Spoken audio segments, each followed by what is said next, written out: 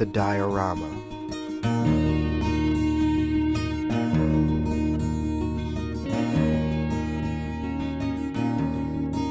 Before he had made it across the parking lot, the sky opened its heavenly urethra and pissed on Martin Taper, raining hot and foul. It pooled in the whack-a-mole potholes of the Price Kingdom shopping center, each puddle a window into a more promising dimension.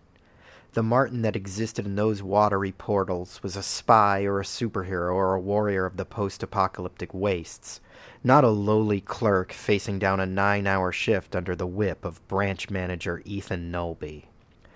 Martin sighed and raised his eyes to the value pet, his retail tomb that stank not of decay, but of dog paws and cat dander.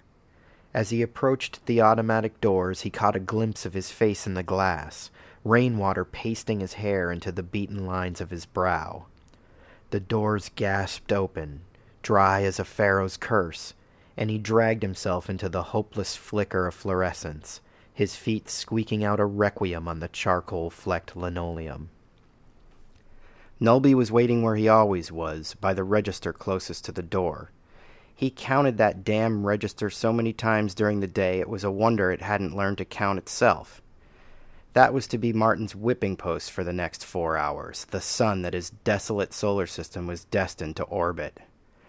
After that, he'd be consigned to the aisles, where he would close out his sentence stocking the shelves with cans of horse meat and bags of stale smelling kibble.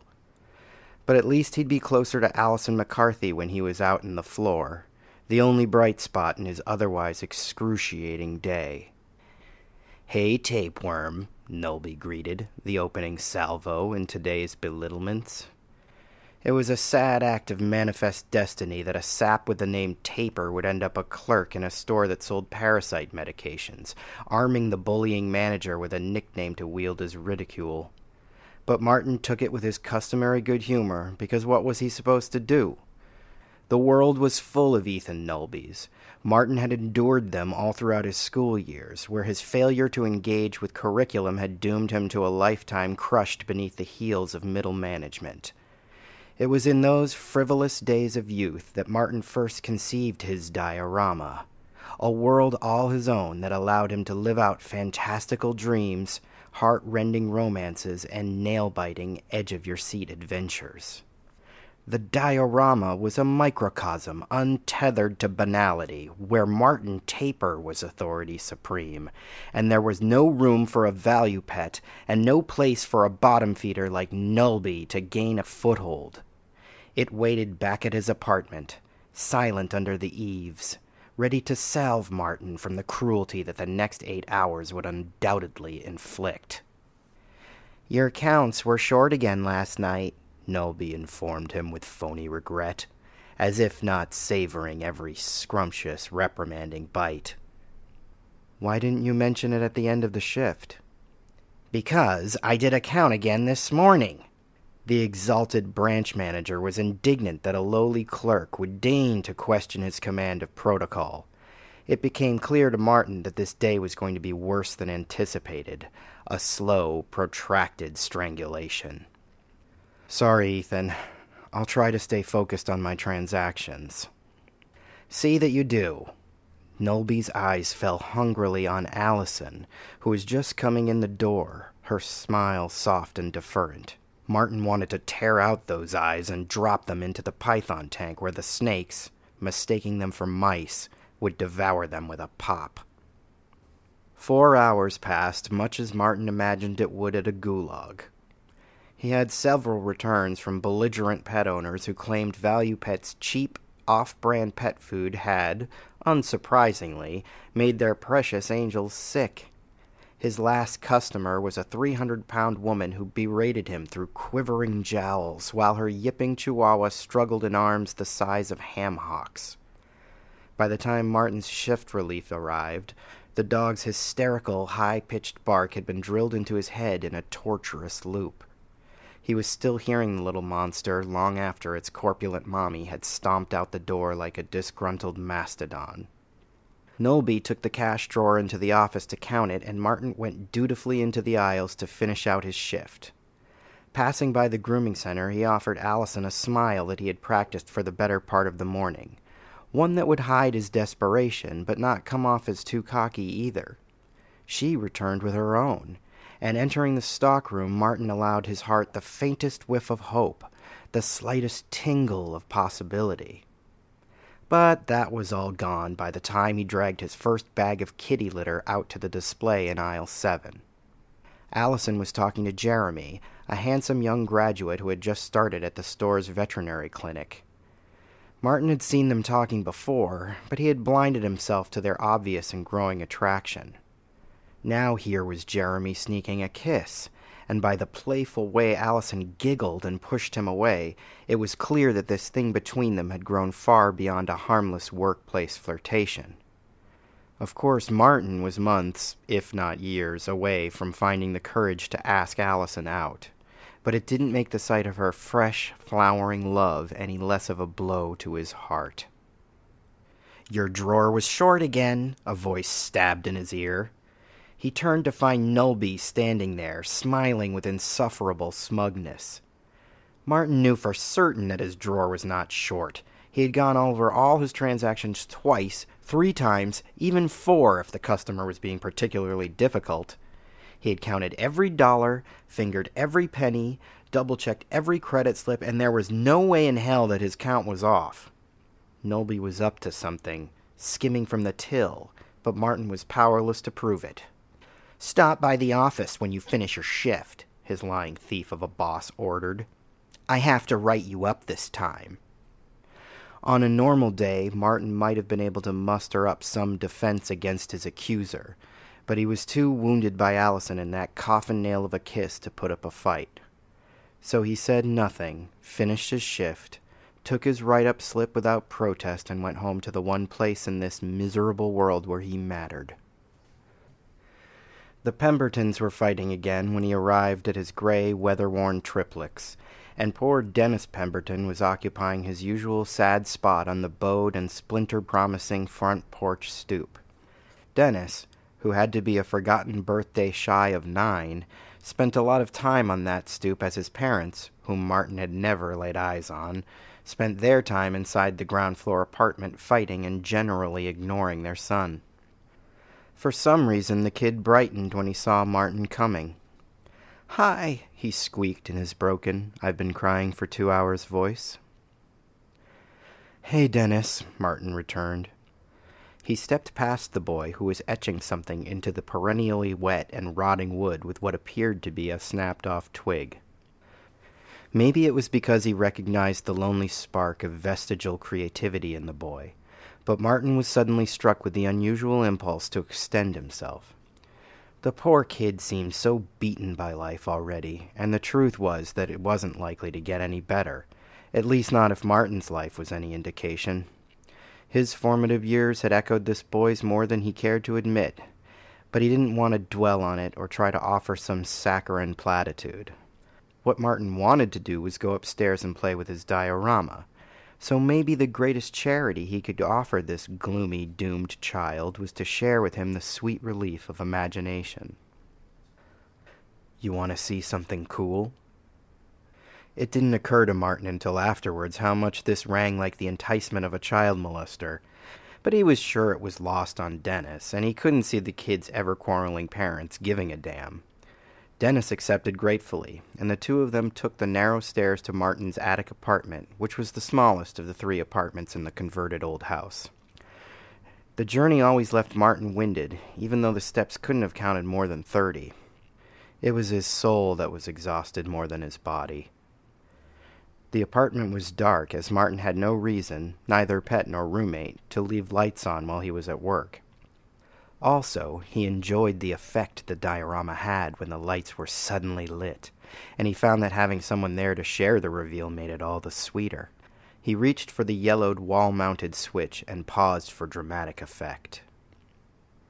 You ready? he asked Dennis.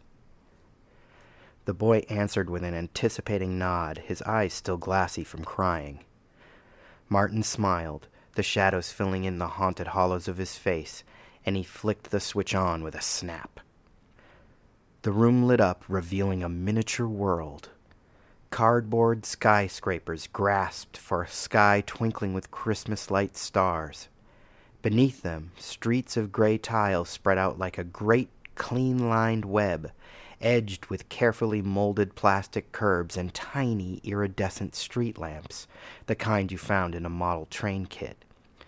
Toy cars of every make and era crowded the thoroughfares, giving the city a claustrophobic feel of authentic habitation.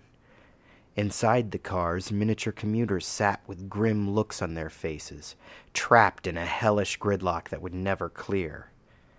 Beyond the city, mountains of buckled turf rose, hinting at a world outside the diorama. It was all so detailed and thoroughly convincing that Dennis couldn't help but gasp. It gave Martin a thrill bordering on the perverse. Well, Martin asked, knowing full well the answer. Pretty cool, huh? Dennis answered, Yeah, as if he had just wandered into a secret and private Disneyland, which in a sense he had. His eyes were lit with the sort of youthful wonder Martin had all but forgotten existed, and it made him smile so broadly that his atrophied cheek muscles cramped in protest. With a sweeping gesture, he bid Dennis enter, and the kid stepped awestruck into the steepled room. On a chipboard shelving unit, the players of this magnificent little universe were arranged in neat rows like some strange shrunken militia. They came in many shapes and varying scales, some highly articulated while others immobile, but they were all born of the same plastic brotherhood. There were hunched over and hobbling old folks, leather adorned gangs of every ethnicity, suit and tie office drones and corporate raiders moms and their children, ready for food shopping and playground afternoons. But lording above them on the highest shelf were the main players, the heroes and villains, the demons and demigods that commanded real power in this fantastical realm.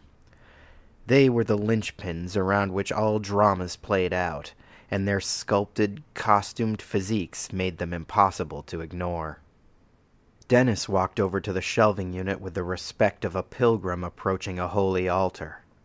He gazed awestruck at the figures on the top shelf, at the superheroes, villains, monsters, and robots. Martin could sense that Dennis wanted to reach out, longed to hold one of them in his fevered little palms, but that he felt somehow unworthy. This warmed Martin to Dennis. The kid seemed to know when he was in the presence of something truly mystical. Martin considered letting him pick out some figures and build a scenario, but he just couldn't allow it. The day had been far too agonizing to offload his much needed release to a child who would likely be satisfied having the characters play nice. No, there needed to be some real conflict in tonight's course of events, some high stakes action and violence. Mythic stories demanded to be bold and operatic. Martin had a knack for this without ever having tried his hand at fiction. Writing was for dreamers, after all, and his dreams had long since dried up and blown away. The diorama was all he had, and it would provide him with all the catharsis he needed. Dennis would be his student for the evening, Martin decided, and to the boy's credit, he seemed a courteous, eager pupil. So, Martin said after he felt the silence had given the moment proper dramatic weight, I think tonight will be a Black Shroud adventure. Dennis beamed excitedly as if Martin was some delightful hybrid of both Santa Claus and the Easter Bunny. Who's the Black Shroud? Poor deprived child, Martin thought, smiling internally. It was true, the Black Shroud was not as popular as A-list heroes like Batman or Daredevil. He was a lesser known character, some might say knockoff, but Martin preferred the term loving homage, from a comic book series long since relegated to the dustbins of obscurity. As such, the Shroud had a wide open playing field, dramatically speaking, allowing Martin to author his adventures without the shackles of a lengthy backstory and studied canon. It also allowed Martin to graft aspects of his personality to the black clad Avenger, and made the Shroud his regular avatar. He took the action figure down from its vaunted place upon the shelf and held it before Dennis's rapturous eyes. He could see the boy's mind dancing across the contours of the figure, lingering in the folds of the hooded, enveloping cloak, probing at the mystery hidden in that cold, expressionless mask. Is he like Batman? Dennis asked. Better, Martin answered definitively. He took the figure and went over to the diorama, placing the shroud on his favorite perch, Forsyth Tower, a Gothic skyscraper adorned with stern gargoyles and extended outcroppings. There the Avenger was in his true element, a shadowy sentinel waiting to strike. Now all that was needed were wrongdoings for the shroud to set right. As he often did in these precarious moments of creation, Martin rifled through his mental checklist of torments and injustices to find inspiration. And today, the source of his greatest anguish was Allison and that bone-headed Lothario she felt driven to smooch. How he would love to expose Jeremy as a fraud, a coward, unworthy of her pillowy lips. How he would love to tear the wool from her puppy dog eyes, show sweet, innocent Allison McCarthy who the true hero was. And like that, the night's scenario emerged fully formed. To represent Allison, Martin selected Dr. Millicent Chambers, a plucky archaeologist who is the central character in a series of jungle adventure films. The actress who played Millicent looked nothing like Allison, but in the distortion of Martin's feelings, the two were dead ringers, and in truth, the sculpt bore some resemblance if you looked at it right. Cemented as an avatar, Martin took Millicent down from the shelf and placed her on a lonely curbside free of traffic and other pedestrians, but not free from the ever watchful gaze of the black shroud. She looks so lonely there, Dennis remarked. The boy was astute. Then why don't we give her a friend? suggested Martin, his voice betraying a sly hint of knowing. He already had Allison's companion in mind, a smiling, clear-eyed brute hiding proudly, boastfully even, in the far back of one of the shelves. As if guided by Providence, Martin turned back to the display, and reaching behind a row of better-loved figures, landed on the exact one he was looking for. He drew the toy out, careful not to topple the others, and presented its stupid, innocuous form to Dennis. The boy's eyes lit up. It's a fireman! That was not the desired effect, Martin inwardly groused. Of course, firemen were heroes to most children. He would have expected a worshipful reaction from an average mouth breather. But Martin had hoped that Dennis, proving himself a kindred soul, would be different. In truth, Martin had nothing against firemen. They were heroes, after all. But he had everything against the all-American, beer drinking, nerd bullying archetype that he felt Four Alarm Jim, the fireman in question, represented. So, what better a stand in for Jeremy? Yeah, he's a fireman, Martin conceded. But he's a dumb fireman. The word worked like a carefully targeted missile. Dennis scrunched up his face as if smelling a dog fart, and Four Alarm Jim became plastic persona non grata in his easily swayed eight year old mind. Yeah, he's dumb. Martin took Four Alarm Jim in one hand and Millicent in the other and forced their faces together, playing out the act of kissing in the most grotesque manner possible, complete with wet lip smacking noises. This sent Dennis into gales of repulsed laughter, and his disapproval of Jim was finalized with the exclamation of, Gross! With most of the main cast in place, it was time for the inciting incident, the event that would set the action into motion. Turning back to the display, Martin's eyes were drawn to a sinister figure that stood hunched in the corner like a rat waiting to strike from the shadows. With a delicate, deliberate hand, he plucked up the nasty little character, careful to avoid pricking his finger on its pointed beak of a nose. This is Sketchy Crumb, Martin announced. He's a bad guy. Bad guy didn't really do Sketchy Crumb justice. He was a low-level thug, a bank robber, a drug peddler, a perennial supervillain henchman, and all-around scumbag. And of course, in Martin's mind, Sketchy represented all of Ethan Nulby's finer qualities. On a normal day, he would have been satisfied to have the Black Shroud simply collar Sketchy after a robbery and pound his twisted face into the hard foam asphalt. But today had not been a normal day. Today, Sketchy had a greater purpose, a more vital role to play. Selecting a tiny pistol from a cabinet drawer, Martin put the weapon in Sketchy's hand and set him down in the diorama in front of Millicent and Jim. He positioned the criminal in an easily readable stick up pose, gun out, and adjusted Millicent's arms so they were raised high over her pretty head in helpless surrender. Then, relishing the moment, he did the same for Jim, whose vocation as a firefighter apparently made him no less of a coward. Now came the fun part. This is a stick up, Martin said in a sandpaper rasp that was meant to approximate Sketchy's cigarette mangled voice. He reached into the scene and pivoted Sketchy so he aimed the gun at Millicent, then Jim, then back to Millicent. Give me all your money. Dennis giggled, delighting in the mini mugging.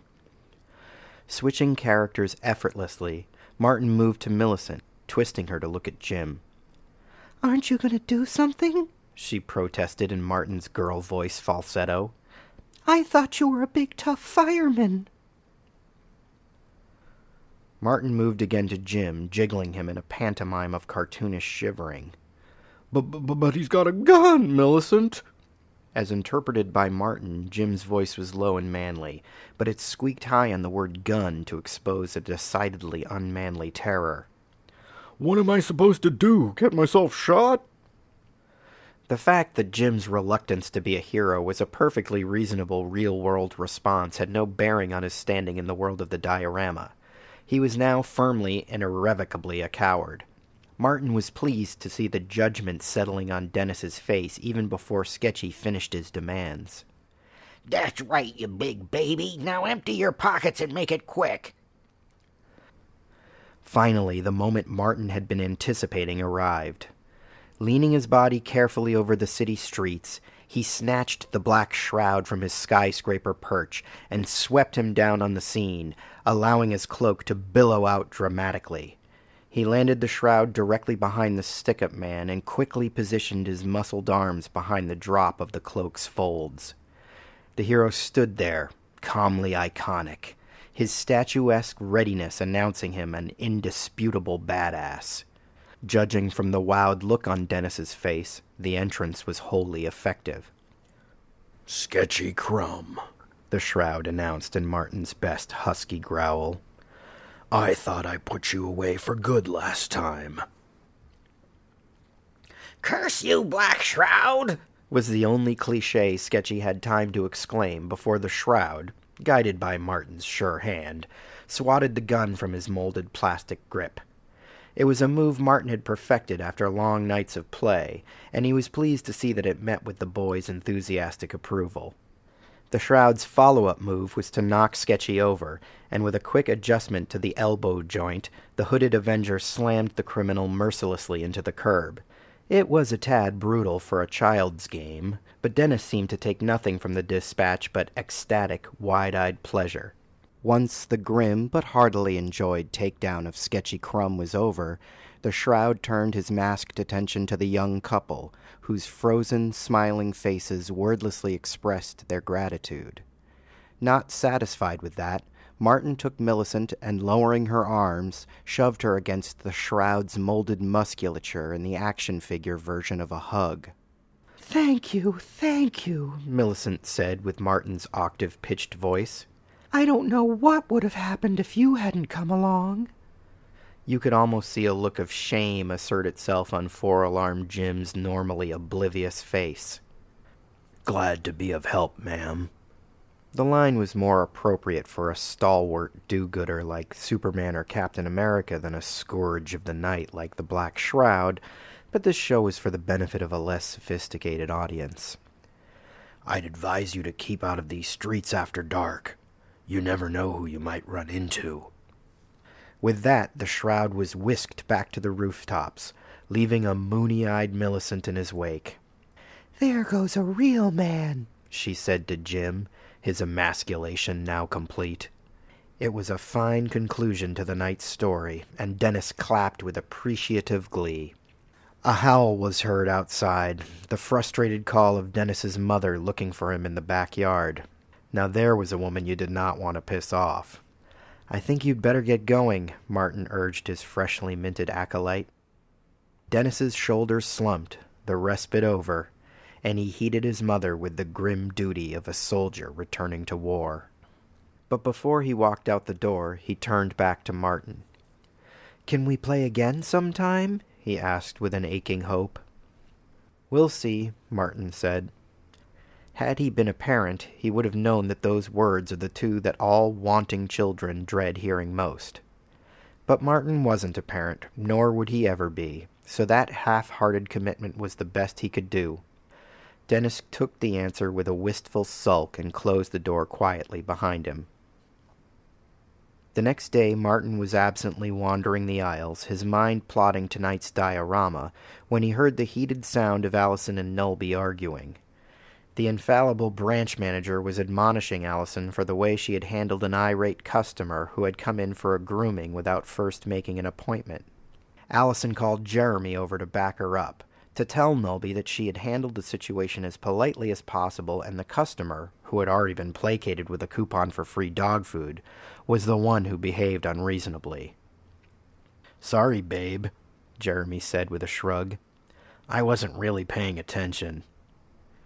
This was not the show of support Allison had expected from her new boyfriend. Unable to stomach the look of betrayal that spread across her beautiful face, Martin stepped out from behind the aisle to right this injustice. He stood before them straight and heroic, channeling the grim righteousness of his hero, the Black Shroud. I heard the whole thing, Martin lied. Allison was as polite as could be. The woman was totally out of line. Nulby turned to him with his usual contempt. Woman? he questioned. The customer was a man. It was that old guy that comes in here with the Great Dane. It then occurred to Martin that he had assumed the troublesome customer was that heavy woman with the yipping chihuahua, and if he had only begun eavesdropping earlier, he wouldn't have made such a blunder. Sorry, he said, making a saving play. It sounded like a woman to me. Anyway, I did hear Allison, and she was nothing but nice. Allison looked to Martin, her face awash with gratitude. It felt like the first time she had really looked at him, seen him for the true strength of his character. Martin would have held that look on her face forever if he could have. It was worth any punishment Nulby could dish out. But for once, the flustered Nulby was uncertain on how to handle the situation, so he fell back on the tried but true default of managerial lecturing. Look, I don't know who is at fault, and I don't really care. I've been getting heat from the home office about customer service, and I need everyone to be on their absolute best behavior. Are you guys hearing me? There were nods all around, and then the intercom crackled, summoning Nulby to the front. He left in a hurry and without issuing Allison a write up, which was all thanks to Martin's heroic intervention. To show her appreciation, Allison drew close and graced Martin's arm with a touch of her lily white hand. Thank you, Martin, she said. That was very sweet. Yeah, good looking out, Marty, Jeremy piped in. Allison turned on a dime, scalding him with her glare. You were some big help. The sarcasm dripped from her mouth like sap from a wounded maple. Thanks for having my back. What was I supposed to do? Jeremy shot back defensively. Did you expect me to lie? Allison folded her arms in a huff of disappointment as Jeremy continued to stammer out selfish excuses. As much as he enjoyed seeing Jeremy squirm, Martin ducked back into the aisles and left the lovers to play out their quarrel. He could still hear them fighting all the way back at the rabbit hutches, and it gave him a pleasurable thrill that carried through the end of his shift. It wasn't until he was home, standing before the diorama, that Martin realized that the day's events had played out much as they had been prophesied in miniature the night before. Not to the letter exactly. Nulby hadn't attempted an actual robbery, though there was Martin's suspicion that he was skimming from the registers, and the incident had not, sadly, ended in violence. But still, there were definite parallels to be drawn, and it didn't take a wild imagination to spot them. Of course, that's ridiculous, Martin told himself. The diorama has no real power. Still, that night, for the first time in as long as he could remember, Martin fell asleep believing that all was right in his world. Things did not improve between Allison and Jeremy. The incident had been the final straw in a long line of broken backed camels, and their once happy union was ended. For a week, their only exchanges were cold glares and clipped words, and the atmosphere between them was so toxic that their co-workers had taken to avoiding them. But not Martin. He swept into the void left by Jeremy, attempting conversation with Allison whenever his courage would allow, which was more and more frequently. Most of the time he found her brooding and unreceptive, but every now and then he managed to give her a little smile, a faint giggle or titter. Those moments, however small, were enough to make Martin feel as though he could conquer the world. Come Friday's afternoon switchover, he was in an uncommonly good mood.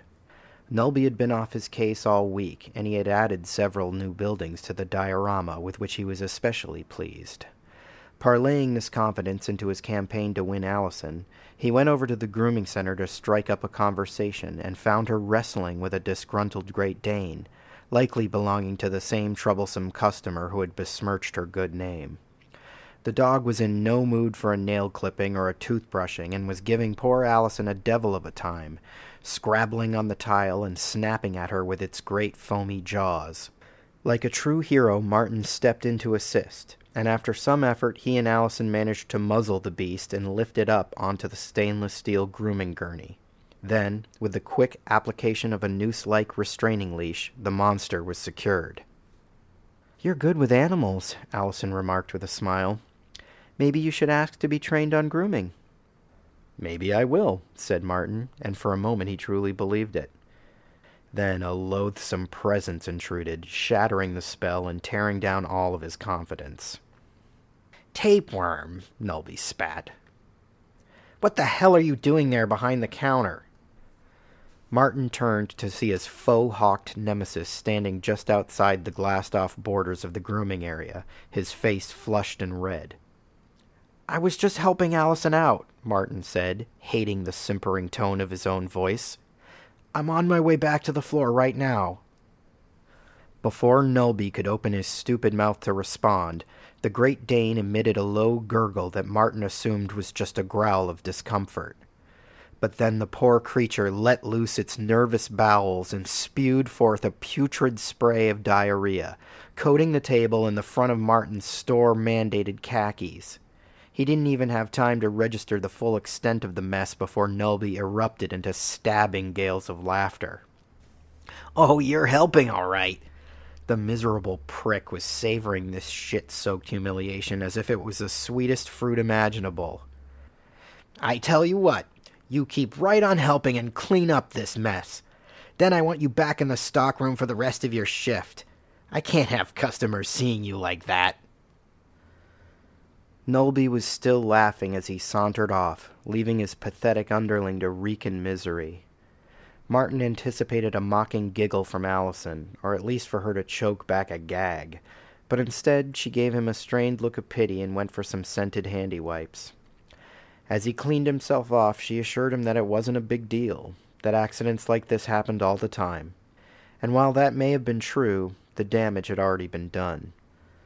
Martin saw his chance with Allison exiting as swiftly as the bowels of that incontinent Great Dane.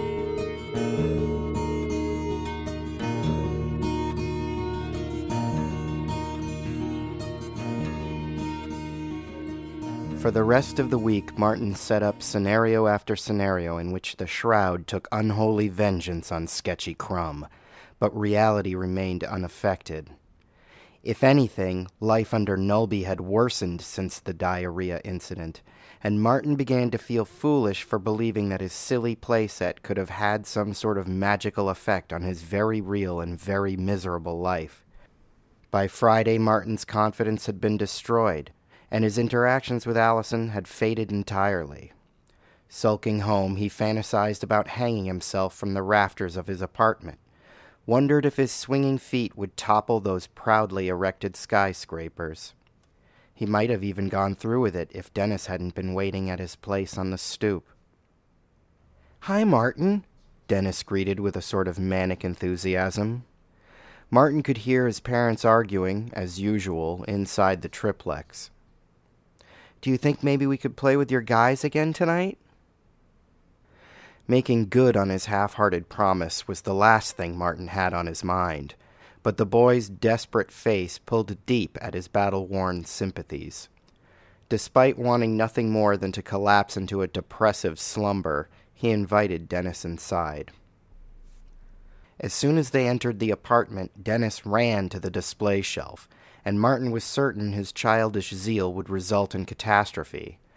But before he could protest, Dennis skidded to a respectful halt, once again proving a worthy protege. Go ahead, Martin permitted. Pick one. As if being granted the keys to the kingdom, the boy reached for the shelf to the highest ledge. His fingers grasped for a figure that stood there alone, as if the other toys had afforded it a wide berth out of terror. Martin's heart froze mid pump. Why on earth, of all the figures he could choose? But Martin's thoughts were cut short by an icy shiver. This one, Dennis confirmed, his hand clutching the hateful, nightmare inducing action figure in question. I want to play with this guy. He was referring to Mr. Simeon, the most fearsome of Martin's supervillains. Once a celebrated archaeologist who had gone insane in the jungle, Simeon now ruled the underworld from behind a terrifying mask, that of a tormented gibbon frozen mid shriek. A tattered, pin-striped suit was his uniform, a mockery of his abandoned civility, and a white shock wig topped his head, completing the insane picture. He was a character Martin unleashed when scorched earth chaos was the only solution, and in truth there was a part of him that feared the figure, as crazy as that may have seemed. There was a power in that toy, dark and unholy, and here was Dennis wanting to let the proverbial monkey out of the barrel. That's Mr. Simeon, Martin warned. He's a bad guy. You sure you want him? There was not a shred of doubt in the boy's face. I think he's cool, he said, putting an end to the discussion. Okay. What do you want to do with him? Brandishing Simeon like a weapon, Dennis turned to the diorama, wheels spinning behind his furrowed brow. After a breathless moment, he stepped to the display, turning his gaze to the train station where Sketchy Crumb stood right where Martin had left him the night before. I hate that guy, Dennis shouted, descending on Sketchy like a violent storm. He snatched the petty criminal up and held him face to face with Simeon, tiny fists trembling with rage. Martin could have sworn he saw a look of terror on Sketchy's normally smug, ugly face. Swept into the mania of the moment, Martin goaded his pupil on. Sketchy was supposed to do some work for Mr. Simeon, but he didn't do a good job. Maybe he should be punished. Dennis required no prodding. With a deft push of his thumb, he moved Simeon's grasping paw into position, raking it across Sketchy's newly terrified face. One strike wasn't enough, so he did it again and again, each time harder and more violent, acting out a terrible, orgiastic mauling. All Martin could do was stand there and watch as Dennis went to town with fevered abandon.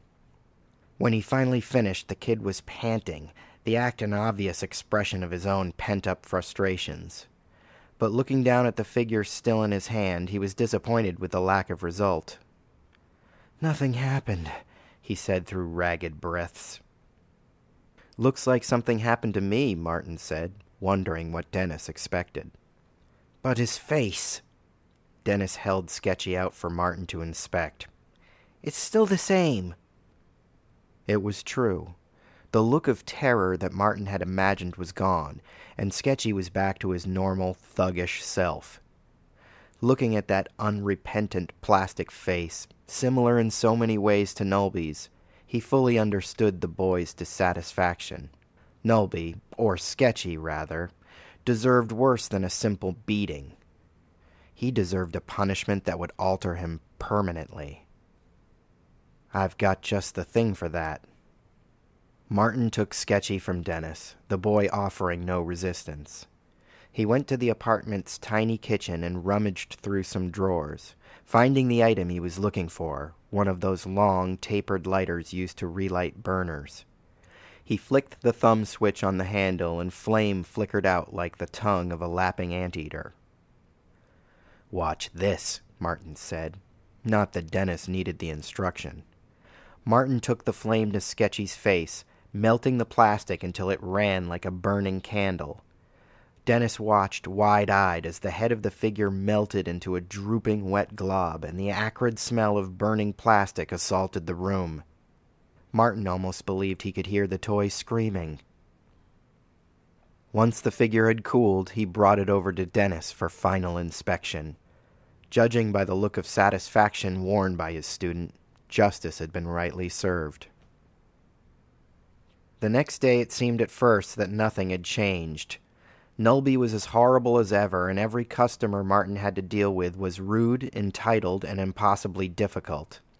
After his grueling register shift, he was rewarded with a wholly unnecessary reorganizing assignment, and by four o'clock his back was screaming due to moving twenty pound bags of kibble from one end of the ground floor to the other. When the hysterical woman tore through the doors, cradling a shrieking chimp in her arms, poor beaten Martin had almost been too exhausted to notice. Can somebody help me? she cried. He swallowed an entire bottle of dishwashing liquid. I don't know what I'm supposed to do. Naturally, this drew the attention of everyone in the store, patrons and employees alike. Exotic pets were a rare occurrence in this dreary suburb, and primates were only to be found in the shabby zoo three towns away. A free roaming chimp sighting was as good as a peek at a big time celebrity or carnival freak, and the crowd gathered around the woman like a pack of wild autograph hounds. Not one of them offered anything even remotely resembling help. Martin dropped the sacks of kibble and turned to fetch Jeremy or whoever was on shift at the veterinary clinic. But before he could make it three steps, Nulby stormed past him, taking charge of the situation with his typical puffed up authority. An inner voice tempered Martin's instinct to help, so he stood off to the side and waited for things to play out. Nulby pushed through the crowd. What seems to be the trouble here? he asked the woman, as if his understanding of the situation would be the key factor in seeing it resolved. I need a vet, she answered, not wanting to waste another second with this self important dolt. Does this store have one or not? We do, Nulby said, adopting a lecturing tone. But I need to know what we're looking at. And just to make sure she was aware of his station, Nulby boastfully added, I'm the manager here. He drank an entire bottle of dishwashing liquid, and I don't know whether or not it's fatal, she said urgently, bouncing the simian in her arm like a toddler. Its rheumy eyes focused on Nulby. Please, if you could just let me see the vet. The chimp reached out with a grasping hand, an act so charming to Nulby that the rare, non malicious smile cracked his managerial facade. Unable to resist the delightful creature, he offered his own finger in return. He seems okay to me. The woman tried to pull her pet away, but it was too late. The chimp's face contorted into a mask of seething hatred, and it screeched, leaping out of its mommy's arms. Nulby had only a moment to register shock before the beast was on him, shrieking and tearing with its powerful hands. Gnarled simian fingers raked down the length of Nulby's stupefied face, causing him to stumble back in panicked terror and knock several stacks of canned cat food onto the floor. All watched with open mouth astonishment as the ape, still clinging to its hapless prey, wormed a probing finger into Nulby's left eye socket and plucked out his eye, leaving the offending orb to dangle by a nerve. Then the beast dropped to the floor, taking a huge strip of the manager's face with it, as easy as peeling the skin off a banana. Thinking quick, Martin grabbed a package of dog treats from the nearest rack and tore it open, spilling jerky sticks in a pile at the chimp's prehensile feet. The ploy proved effective and immediate. the creature dived right into the treats with both blood soaked hands and was back to its happy, chittering self a moment later. The hysterical chimp mother scooped her baby back into her arms as everyone looked on in stunned, horrified silence. A hand touched Martin's arm and he jumped, thinking for a terrified moment that it was another chimp come to attack. But when he turned, he saw Allison there, looking up at him with welling blue eyes, as if he was some sort of hero. After the police arrived and the ambulances wheeled the faceless and moaning Nulby away, Martin sat with his co-workers, Allison included, and tried to process the astonishing event. Animal Control came to take the chimp from its despondent owner, and her concern as to its poisoning by dishwashing liquid was never addressed. The one thing all could agree on was that Martin had saved the day, and he was so flushed with confidence that when the shift wrapped up, he walked Allison to her car and asked her out. To his surprise, she said yes. The next month passed in a dizzying but rapturous blur. Martin and Allison went on several dates movies, picnics, and even an extremely fun trip to that shabby, three towns away zoo. The fact that it all went so smoothly came as a shock. Martin figured his dating skills had atrophied after years of crushing loneliness and solitude.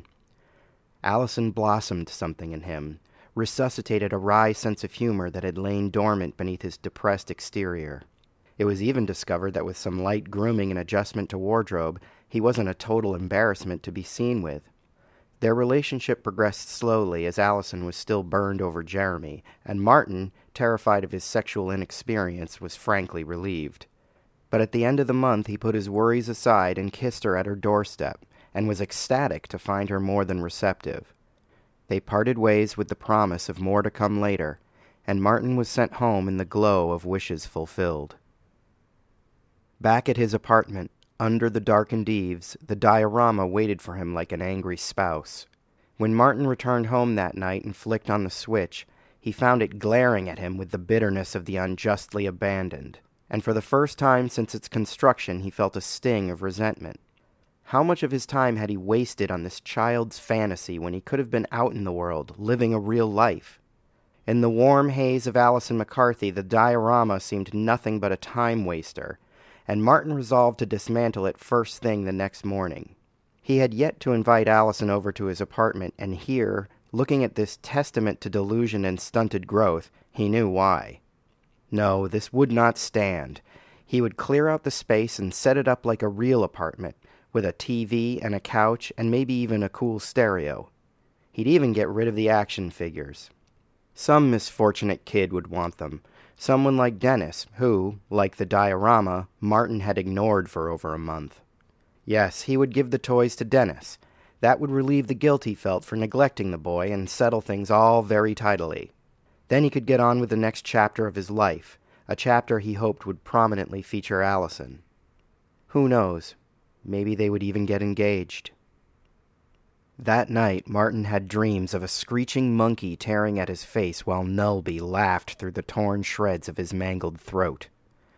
Some time before dawn, he woke to piss, then went to the kitchen for a glass of water.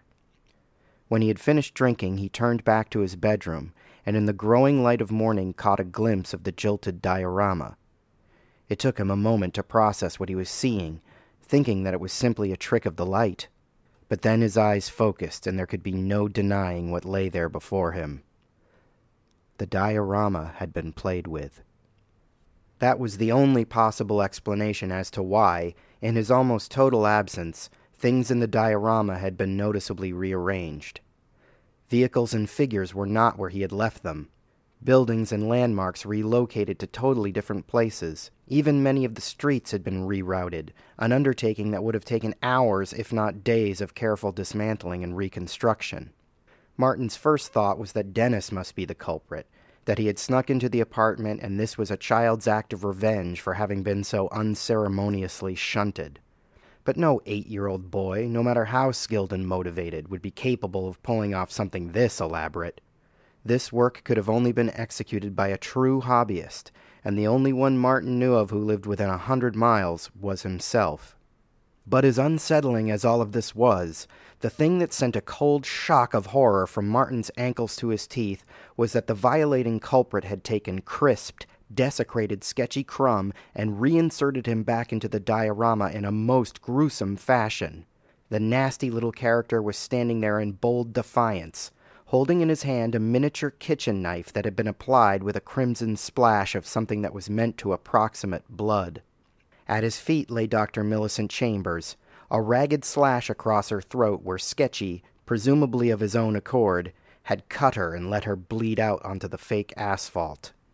But the worst was Sketchy's drooping, melted eyes eyes that stared back at Martin in hateful delight, letting him know that vengeance had been satisfied. Martin snapped himself out of it. This was all some bit of mania, his worried brain insisted. An unusual but not impossible expression of the subconscious, the hobbyist version of sleepwalking. Somehow, while still in a deep sleep, Martin had come out of his room and done all of this by himself. It was the only explanation that made any sense because dioramas didn't move on their own. But this wasn't just any diorama, was it? This one had power. Even Martin's otherwise rational mind believed that, and once he had gotten what he had wanted from it, he had left it alone and neglected. Could it be that the diorama itself was making its hurt feelings known? No, that was impossible. He could not, he would not believe that. To prove that he wasn't afraid, Martin swooped in his arm, knocking the figures off of the diorama and sending them spilling to the floor. He stood over Sketchy, heart hammering in his chest, waiting for the toy to move or speak or act on its own volition. But the charred action figure did nothing. It just lay there, glaring up at him with silent malice. For once, Martin was happy to go to work, if for no other reason than to leave the morning's troublesome developments in the rear view but when he arrived at the value pet, the blanched white faces of his co-workers were not a sign that the day was going to improve. He asked Diane, a heavy girl with perpetually greasy hair, what was behind all of the hushed concern. You didn't hear? she said with rhetorical surprise. Ethan's escaped from the hospital. They're saying he even strangled a nurse. The police were here looking for him. There had been whispers in the store that the damage to Ethan's face had driven him to the precipice of insanity, but Martin was too preoccupied with Allison to give them any serious thought. It all sounded like workplace gossip, the trite sort of manufactured drama that made the hours go by faster and spiced up otherwise boring lives. But in the harsh light of his waking discovery, Martin's mind raced to a foregone and chilling conclusion. Has Allison been in today? blurted Martin, thinking of Dr. Millicent Chambers and her terrible fate. He could feel Sketchy's runny eyes mocking him from all the way across town. No, she hasn't. Diane's brow furrowed absently like a bovine considering its cud. You don't think anything's wrong, do you? Oh, something was wrong, all right. Martin was certain of it. Using his newfound cachet as the store hero, he issued a quick excuse to his shift manager, a middle aged woman who had been transferred in from some other flavorless suburb and was sent home sick for the day. This sort of improvised furlough would have never gotten past Nulby, but things had changed since his reign of terror. Unfortunately, it seemed that Martin's former boss was not finished with him yet, and this time the torment would extend far beyond the terms of employment. Now Ethan Nulby was the puppet master. All the world his mad diorama. On his way to Allison's, Martin stopped by his apartment to pick up the only thing he owned that could pass as a weapon an old cane that had belonged to his long dead grandfather. Stepping over the mess he had made of the diorama, he checked to see if Sketchy was still on the floor and was relieved to find the wretch still on his back, gazing hatefully to the rafters. He took the cane from where it sat propped in the corner and swung it, the hard mallard handle whistling through the air.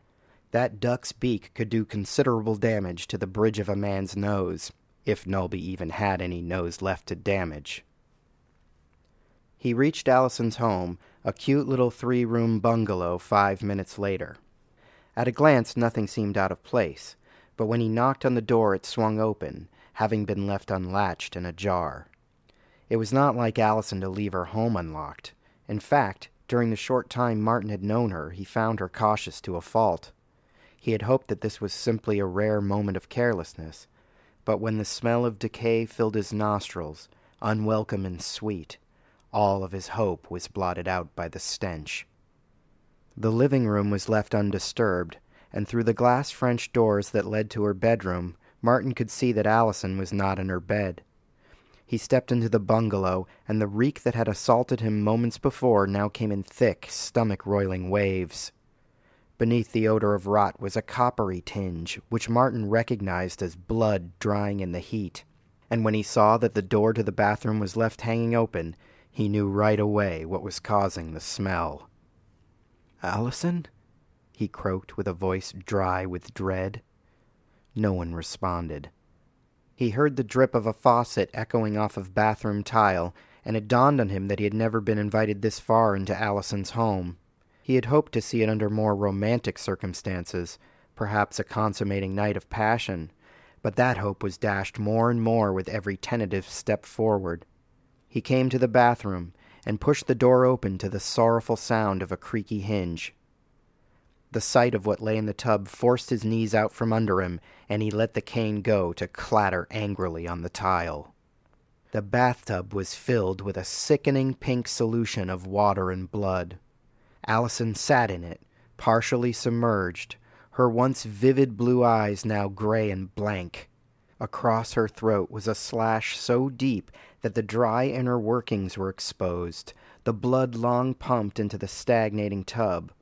Martin thought about that poor heart, a heart that would never be his, struggling to stay alive as Nulby stood there relishing every last beat. The stench of rotting innards emanated from her in a cloud of noxious gas, and at her stiffening toes the faucet beat a rhythm drip, drip, drip. He went to the sink to vomit, but all that came out was a croak of air. Turning on the water, he splashed his face, hoping that the cold shock would drive the maddening terror from his mind. Behind him, he felt those eyes crying silently for retribution, pleading to set right all the wrong he had unwittingly put into motion. Martin felt a dark and powerful determination rising within him, and he knew without knowing that it was his avatar, the Black Shroud. Go into the night, the Shroud demanded. Go find Ethan Nulby. Avenge her. Avenge your lost love. But first there was the matter of the diorama. It had to be stopped before its newly gained sentience could complicate matters even further, so Martin picked the cane up off the tile and raced home as fast as his wobbly legs would allow. So focused he was on destroying the cursed playset that he barely registered sad-eyed Dennis sitting there on the stoop when he arrived. "Want to play?" the boy asked hopefully. But there was no time for talk. Martin charged up the stairs to his apartment, threw the door open with a slam, and immediately went for the diorama, not giving it the courtesy of one final appreciation. He tore into it, piece by piece, until it was nothing but ragged chunks of cardboard and turf.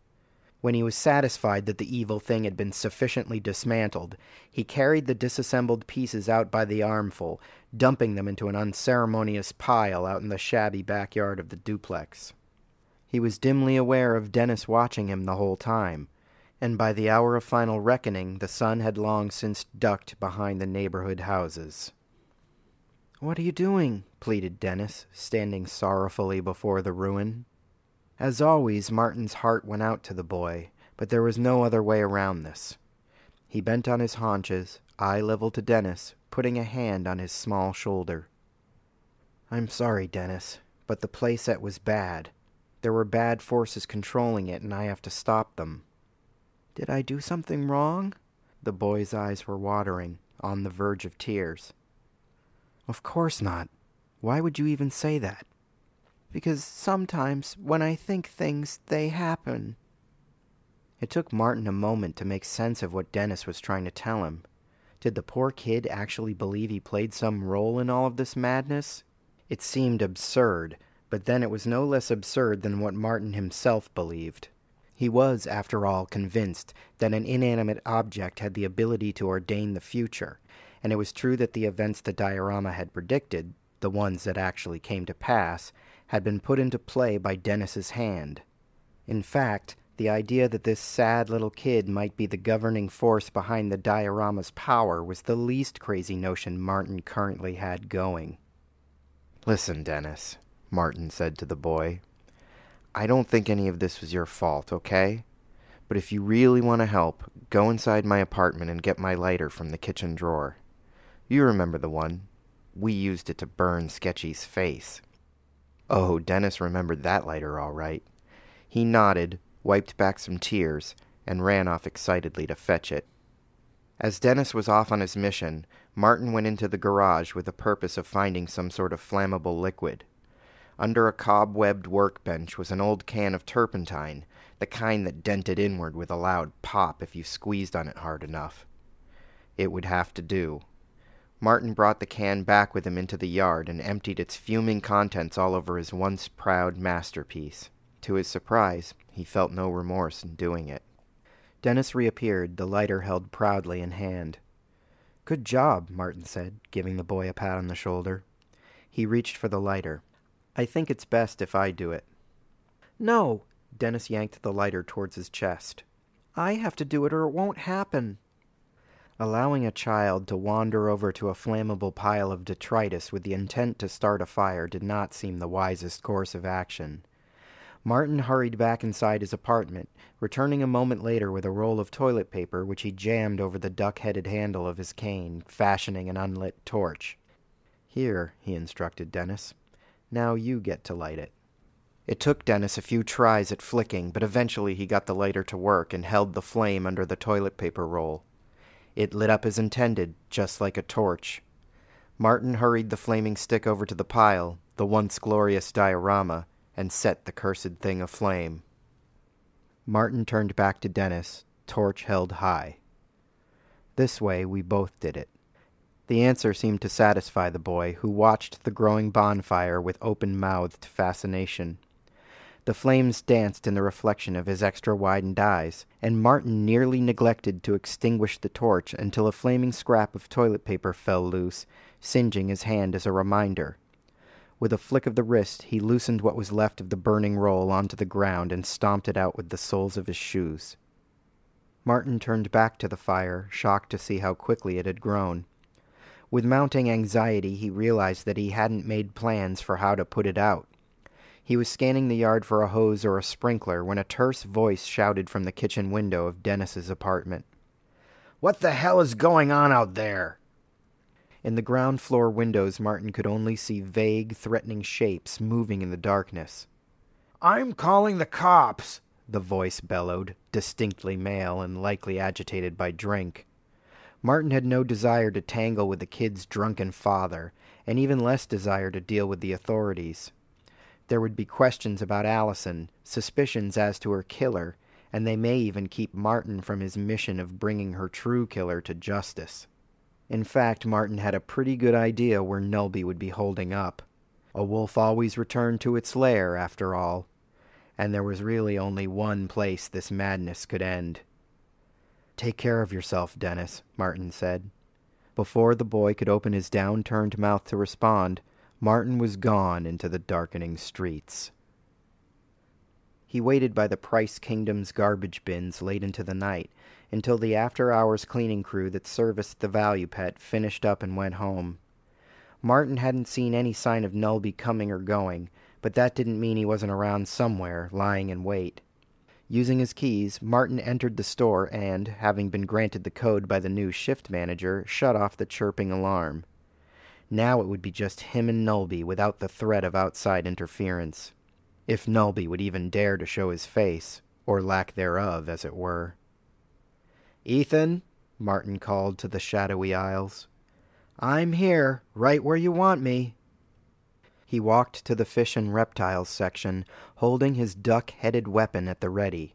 Though the area was darkened, Martin could see the dim reflection of the tanks and hear the watery bubbling of a hundred air filters. Something moved behind him, and he whipped around, wielding the cane like a batter awaiting the pitch.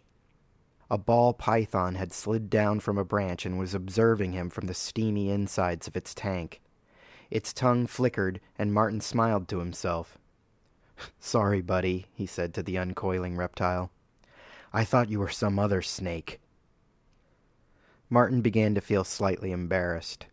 There was no one here, no one but him in a store full of caged animals. Did he really think Nulby was here, waiting to have it out with him once and for all, like gunfighters in the Old West?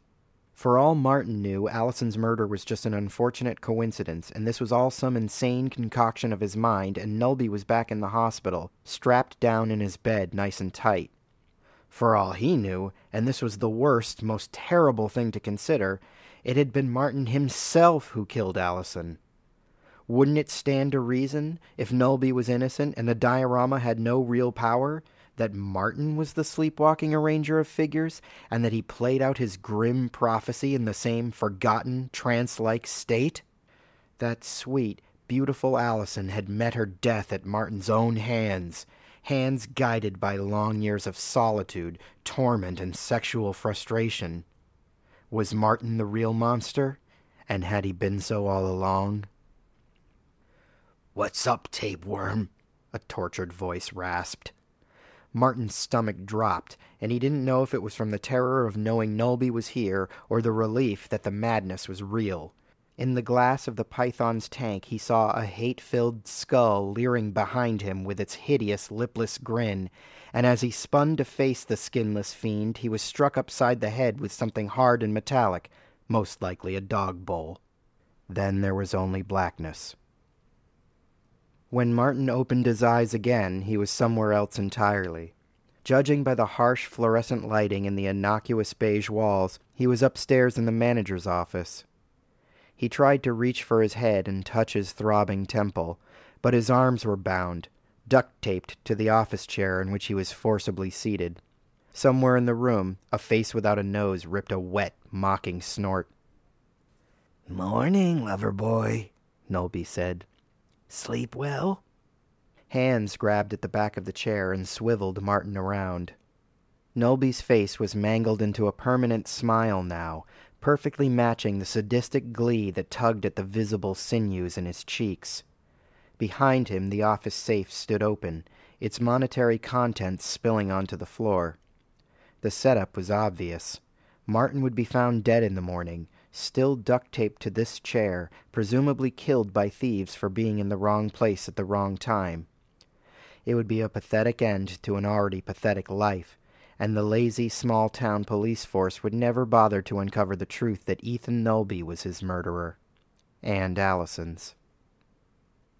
I'm so happy you came, Nulby said. His glistening, blood webbed eyes practically danced in their sockets. I was hoping you would. Actually, I sort of knew you would. Does that sound crazy to you? Martin didn't answer, but no, it didn't sound crazy. Nothing sounded crazy anymore. All of this, you and me, Nulby continued. It all seemed so inevitable, you know? Like we were puppets guided by unseen hands. I don't know how to describe it. Then don't, Martin said through grit teeth. Just shut up and do what you're going to do. But you know what I can describe? Nulby was not going to let Martin's defiance sour this moment. Not one bit. Allison, he sighed, as if in the throes of ecstasy. So beautiful. Not that I need to tell you, and not to make you jealous, but things got real romantic between us in that bathtub. But I felt bad for cheating, for coming between my good buddy Tapeworm and his new girl, so I had to punish her for it. Harshly.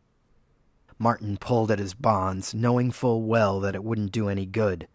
Nulby had done a fine job taping him to that chair. You're better off, trust me. His grinning captor walked over to a packing box that was set on an office desk.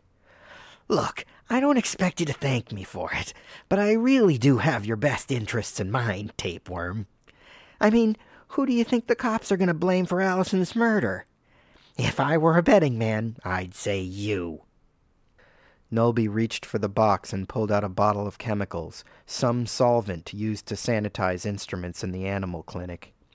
The label urged the warning, highly flammable.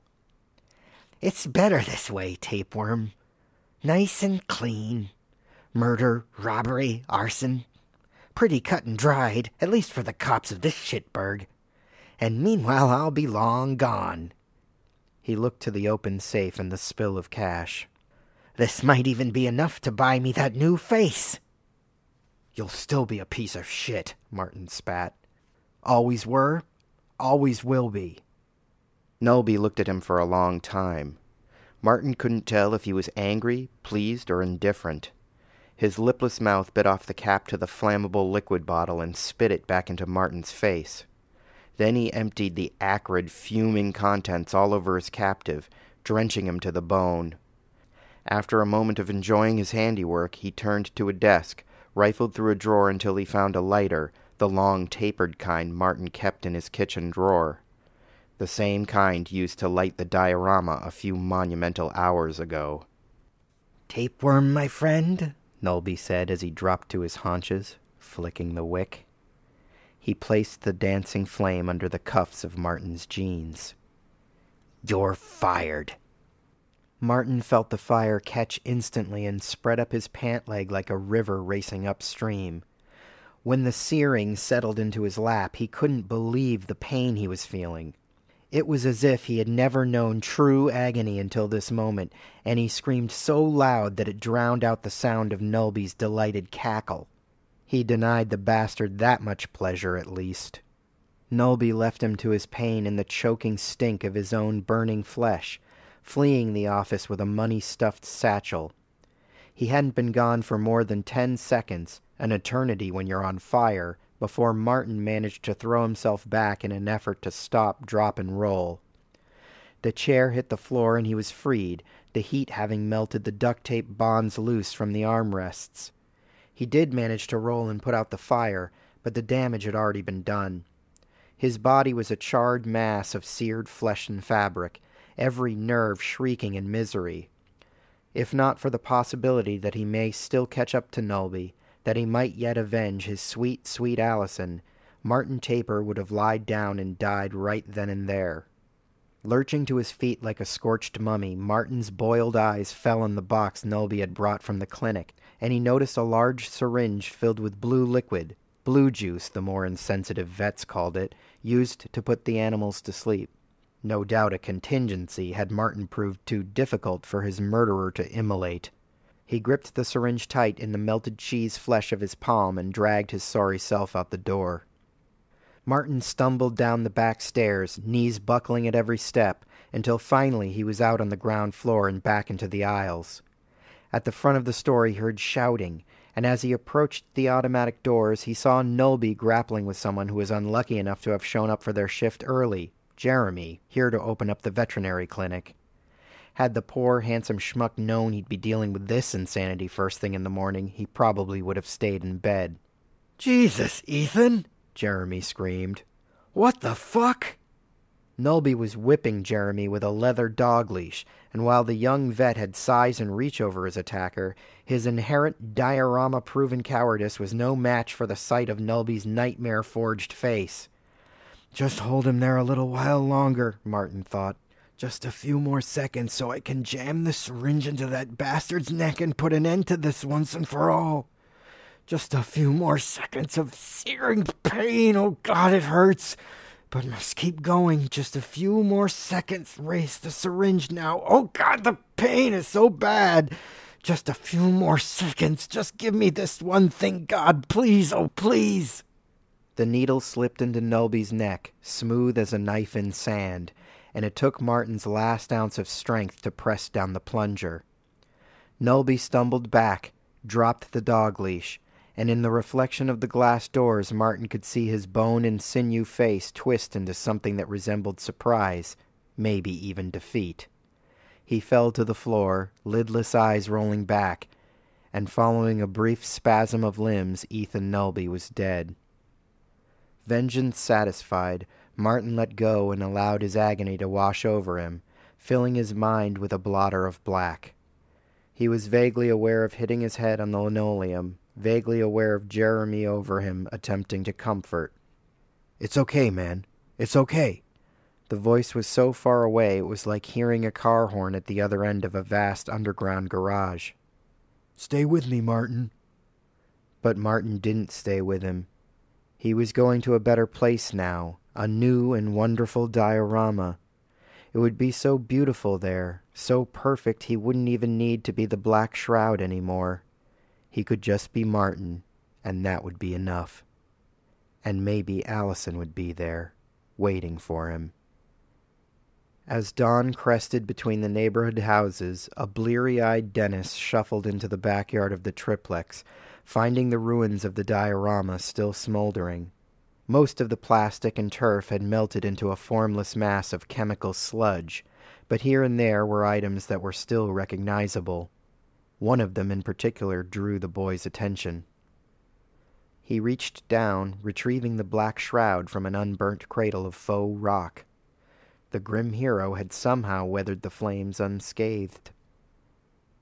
Dennis, his father bellowed from inside the triplex. Get back in here and finish your goddamn breakfast. With a knowing smile, Dennis slipped the figure into his pocket and went back inside.